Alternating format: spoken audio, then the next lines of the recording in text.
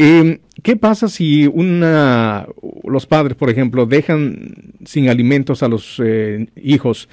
Eh, o, por ejemplo, no darles alojamiento o supervisión, ¿eso podría considerarse también abuso? Absolutamente, es el mismo código. El 273AA conlleva una pena potencial de hasta seis años en la prisión estatal. Es crueldad contra los niños y, y eso cubre todo eso.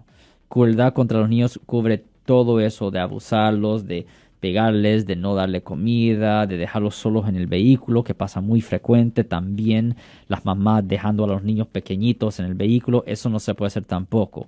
Ya cuando tienen sus 12, 13 años es diferente historia, pero a ciertas edades no, no se puede dejar a un niño de, de 3 años en un vehículo. Lo siento por la interrupción, su video va a continuar monetariamente.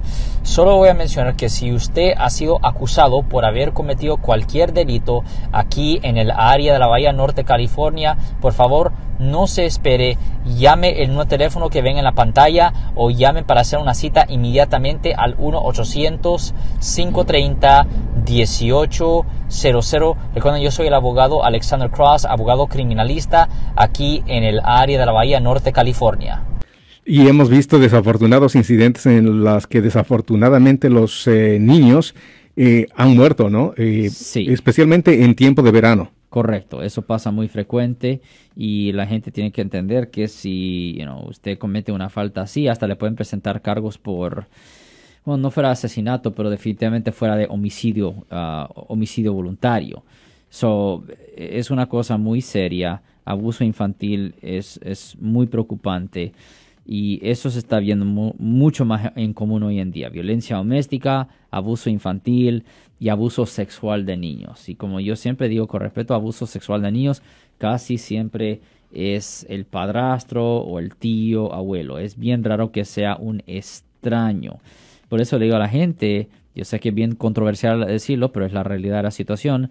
Si usted tiene hijos o hijas que son menores de edad, es mejor no casarse de nuevo.